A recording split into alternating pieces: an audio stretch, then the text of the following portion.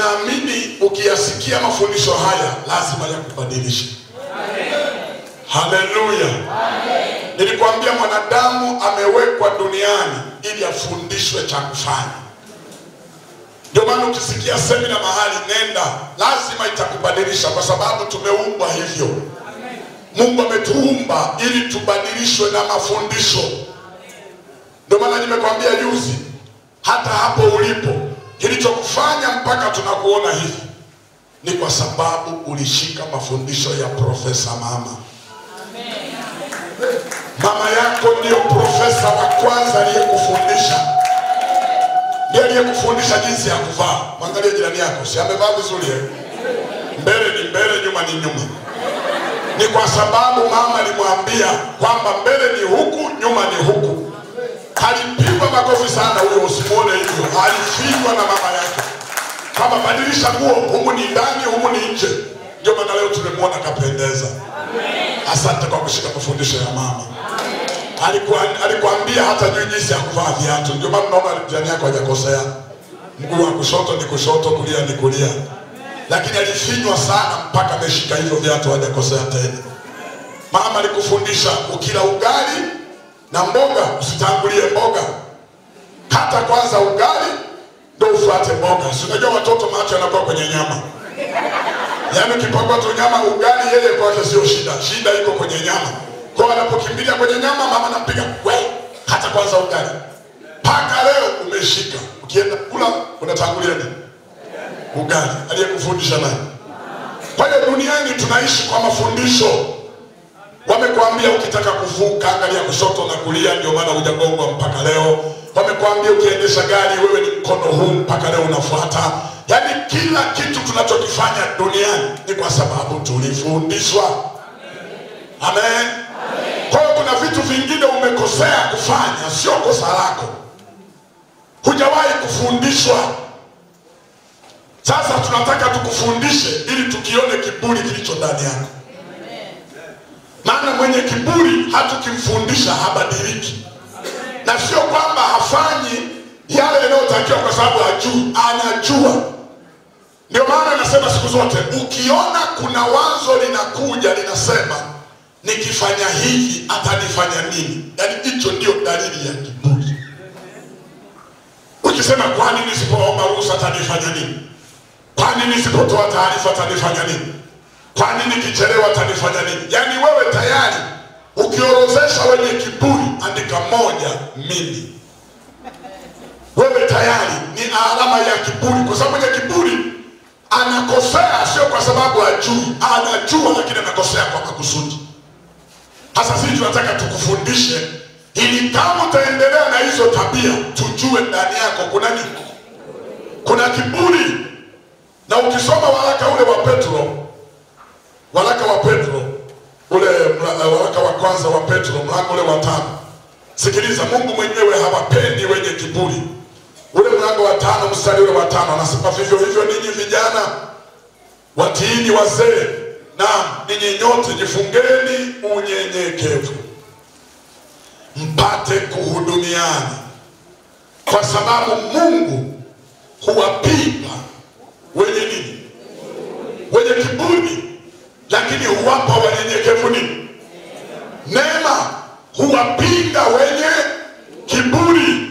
Waraka wa kwanza wa Petro mlango ule wa tano mstari wa tano anasema nyenyekeeni chini ya mkono wa Mungu ulio hodari. Ule mstari ule wa sita basi nyenyekeeni chini ya mkono wa Mungu ulio hodari, ili awakweze kwa wakati wake. Ule wa saba anasema huku mkimtwika yeye fadhaa zenu zote, kwa maana yeye hujishughulisha sana na mambo akina nani? Bado nasema yenu hujishughulisha sana na mambo yetu. Haleluya! Kwa sababu ukisema yenu, maana yake wewe haumo, kwa sababu huyu mwandishi aliandika kwenye nafsi ya tatu, alikuwa anatuandikia sisi ambao huu waraka unatuhusu. Kwa hiyo hujishughulisha sana na mambo yetu, lakini pointi yetu pale mwenyewe hawapendi watu wenye kiburi. Siku moja nilikuwa nafundisha juzi hapo, nikasema kuishi na mtu mwenye kiburi, yaani ni bora ubebe gunia lenye misumari mtu mwenye kipawa. Sasa unaiona, yaani nafuu mzee Manoza tumbebeshe gunia lenye misumari kuliko kuishi na mtu mwenye nini, mwenye kiburi. Habebeki.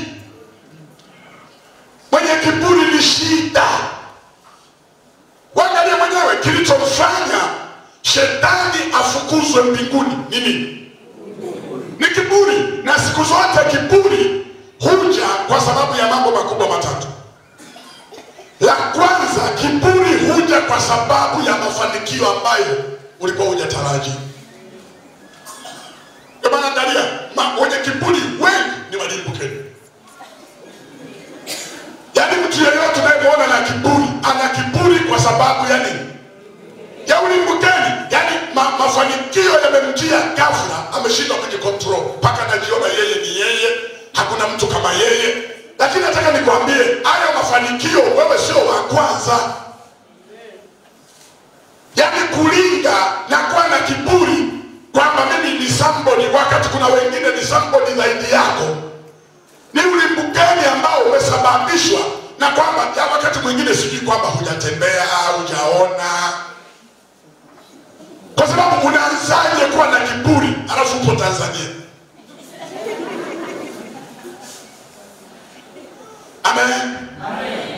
Sasa ni walio Ulaya wafanyeje sasa?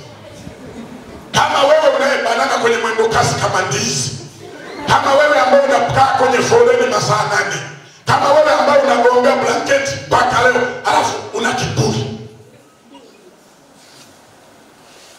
Kuna watu wengine mpaka watu wanafika mahali wanakosea, wanasema jamani, mm, hivi Mungu angempa huyu, angempa hiki na hiki, hivi ingekuwaje? Fikiriani mtu ana kagari kanazima mara mbili mara tatu barabarani, alafu ana malingo hasa. Hebu niambie, angepewa hama, tungemsalimia kweli? Kama mtu tu kacheo ka mjumbe wa nyumba kumi, yaani unakuwa diwani Tanzania, unakuwa diwani, unakuwa mwenyekiti wa nini, una kiburi, huwezi kuja kanisani, huwezi kuimba kwaya, huwezi kufanya chochote, eti tu yeye ni meneja kwenye kabenki kanakokaribia kufa. Hivi kweli sasa ungemiliki yale mabenki makubwa hivi, tungekuona wapi? Amen. Yaani na vihela vya mawenge mawenge, bado tu mtu ana kiburi, wakati mpaka unafika mahali unajiuliza kiburi unakitoa wapi, lakini unagundua ulimbukeni. Maana wengi tumetoka kwenye familia masikini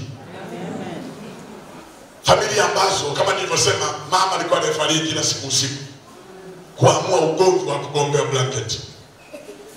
Unasikia chumbani, amevuta yote, anaenda tena, wewe wewe usifute mwenzako naye ajifunike. Ana, anaenda kulala, huyu wa huku naye anasema sasa, mbona yeye amevuta yote, unaenda tena. Yaani mama anakuwa refari kuamua kesi vitoto vinapangana kwenye kitanda kimoja, tafikiri tunguruwe fulani hivi. Lakini ndio maisha tuliyokulia. Amen. Tumekulia mazingira magumu ambayo tulitengenezewa dhambi zingine hata ambazo hazipo duniani. Maana kule kwetu sisi wengine tuliozaliwa kijijini tulitengenezewa dhambi za uwizi ambazo hazipo. Ukipakua kande sawa, ukipakua mihogo sawa, ukipakua ndizi sawa. Sasa upikwe wali nyama, ujifanye kiherehere kwenda kupakua, ndipo utakapojua kwa nini asali ni tamu, ila inauzwa kwenye chupa za konya?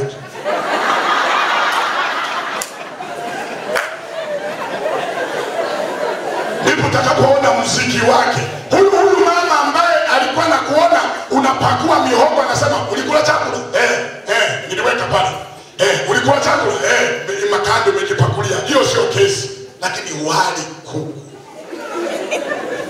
ukipakua utafikwa utapikwa utaambiwa mwizi. Hasa unajiuliza, jana nimekula mihogo, sikuwa mwizi.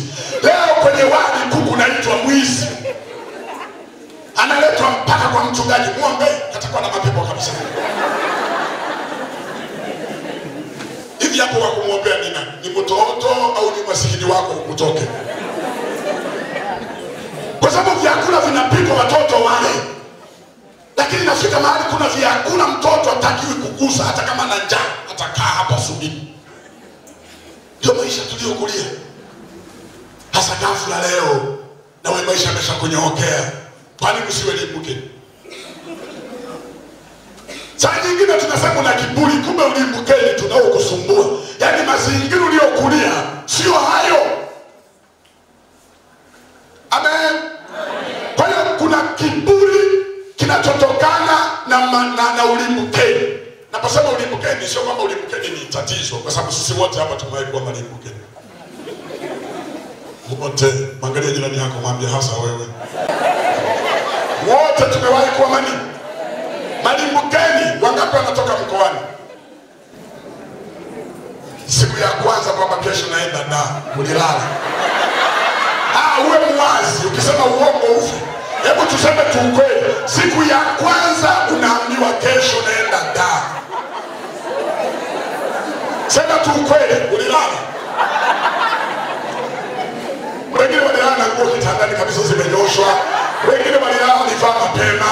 Wengine waliamuka walikaa kwenye sofa wanasufuria. Yaani anasubiri mpaka namchukia jogoo kwa nini ya wiki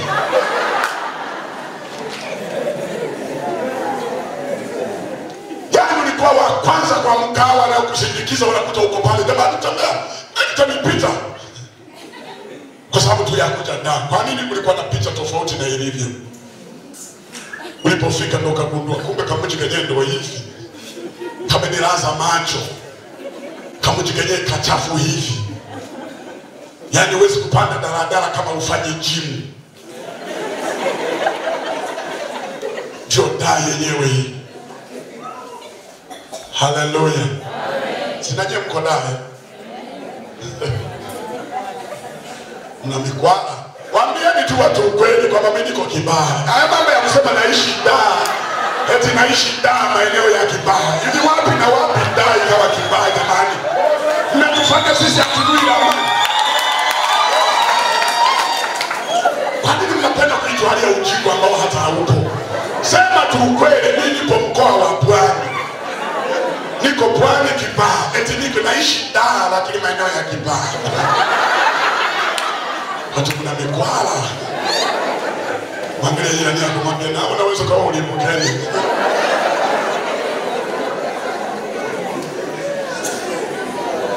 yani wewe unasema naenda da nakaa da wakati wewe uko mlandizi uko picha ya ndege.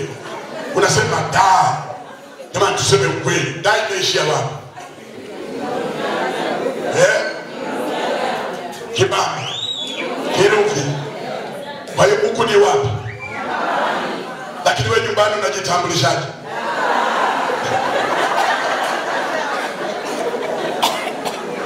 Haya bwana. Kwa hiyo kiburi kinachotokana na nini?